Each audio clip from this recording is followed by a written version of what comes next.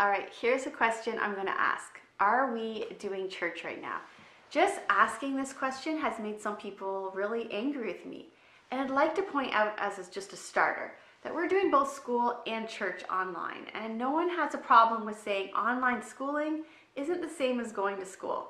And I agree with that, and I'm a homeschooling mom. It's not the same.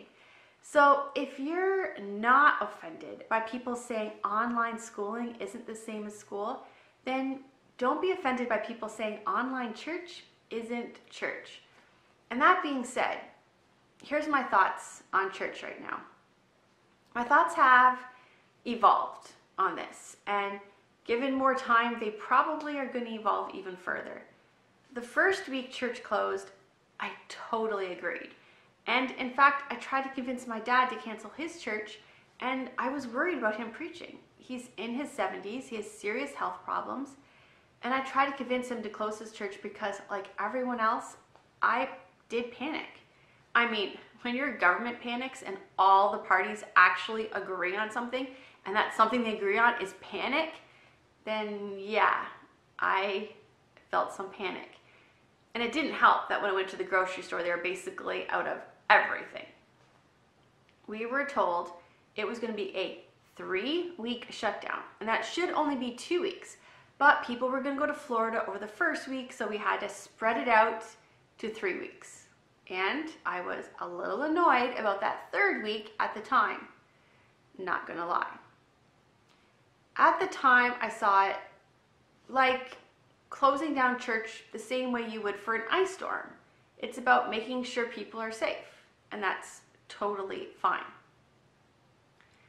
But the three weeks came and went. Now we're more than a month, and things are being canceled that are supposed to happen at the end of the summer. There are some political parties that are talking about not opening doors to churches for 12 to 18 months. So that makes me think we need to stop and we need to ask ourselves some questions, such as what is church? And can church actually be done online?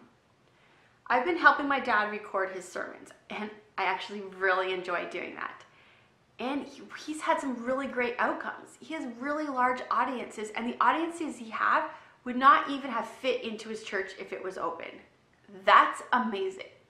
Clearly, God is working. And it also shows that online ministry is real ministry. And that's encouraging since that's the ministry I've been doing for a while now. I think the church should, in the future, keep its online ministry going because obviously it's needed. But the question is, is it church? Well, what is church?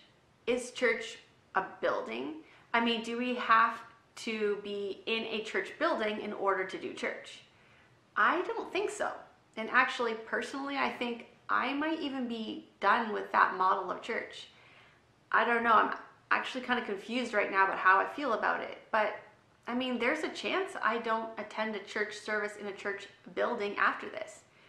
I don't know, I kind of go back and forth on that. But I definitely do not think church has to be a service in a building. Church does have elements, though, that are needed. One, communion. Two, baptism. And three, meeting together. These three things are essential to church. My personal journey with church hasn't been easy, and there have been many times I wanted to leave and just have my personal relationship with God and not be part of any church. And there are so many amazing pastors online. My Monday podcast list is most of the sermons which I love. And it would be really easy for me to listen to their sermons and not bother with meeting together. In fact, before all of this started, I was actually getting to the point where Saturday nights were difficult because I was feeling so stressed with all the fears I have about just attending church on Sunday. And I've been going to church every week since I was a month old. So if I went just with what I want, what I enjoy, this new church where we don't actually have to see anyone and I can pick whatever pastor I feel like listening to. I can sit in my own comfortable home. That's actually the perfect church for my comfort zone. So then, why am I upset that this is our new version of church if it actually works great for me? Because it's not church. The church service isn't church.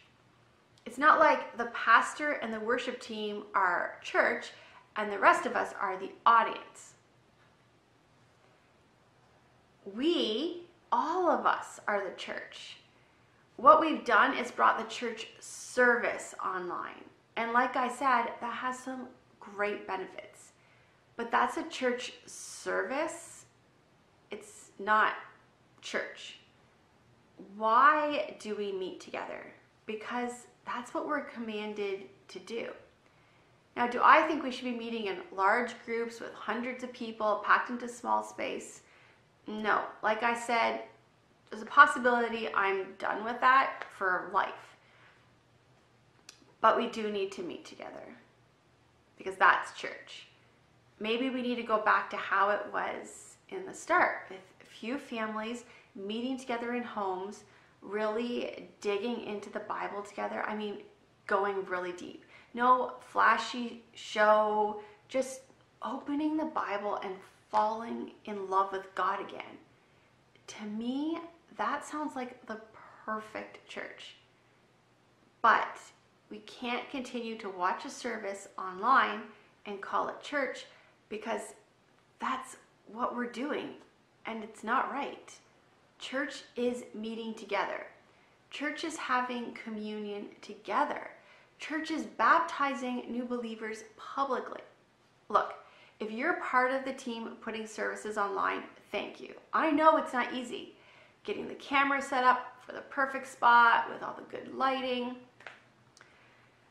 Then the dog starts barking halfway through the recording, so you have to stop, and then you have editing to do kids don't want to stay quiet for that length of time. It takes to record. And then the internet. The internet goes out when you're trying to upload. For me, every single time. We've had a lot of internet problems over here. Look, I get it. It's not easy, but it is necessary and everyone is thankful for what you're doing. Please hear that from me. Saying that this is not church is not an attack on you, and please don't think that it is.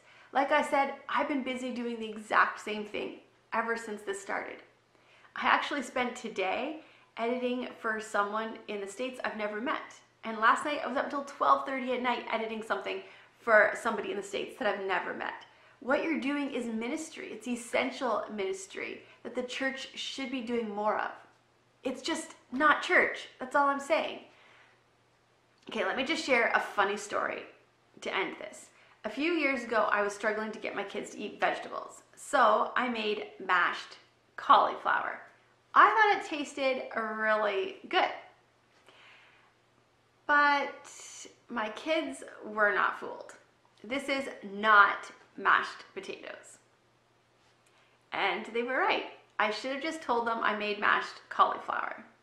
Calling it a different name and trying to convince my kids it was mashed potatoes didn't help the situation. So here's the thing. I should have just said, we're not having mashed potatoes today. We're having mashed cauliflower today. And it's really good and you should try it. Like, we're not having church right now. Churches are closed.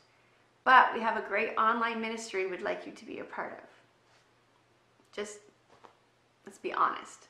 I'm Lorelee Siemens. For more podcasts, videos, and blogs, check out loreleesiemens.com.